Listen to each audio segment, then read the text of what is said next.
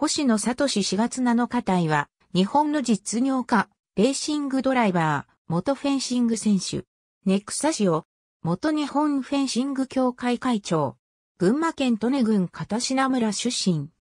経営者としては、関東圏を中心に展開するパチンコホール D ステーションの運営会社ネクサスの CEO、アスリートとしては、企業として講演しているカーレースに自らも参戦して、レーシングドライバー、学生時代にはフェンシング選手として全日本選手権を制覇するなど、多彩な顔を持つ。群馬県立沼田高等学校を経て、1984年、法政大学を卒業。片品村で、舞竹や谷川学の材木などを運搬する、運送会社を経営する家に生まれる。家業を継いだ後1995年に、遊戯業に参入し、沼田市に D ステーション1号店を出店。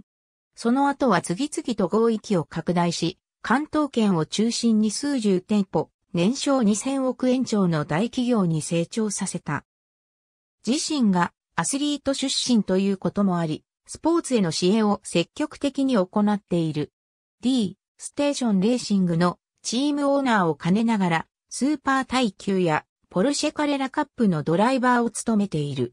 ルマン24時間レース法政大学在学中の1983年、全日本フェンシング選手権大会男子フルーレ個人で優勝。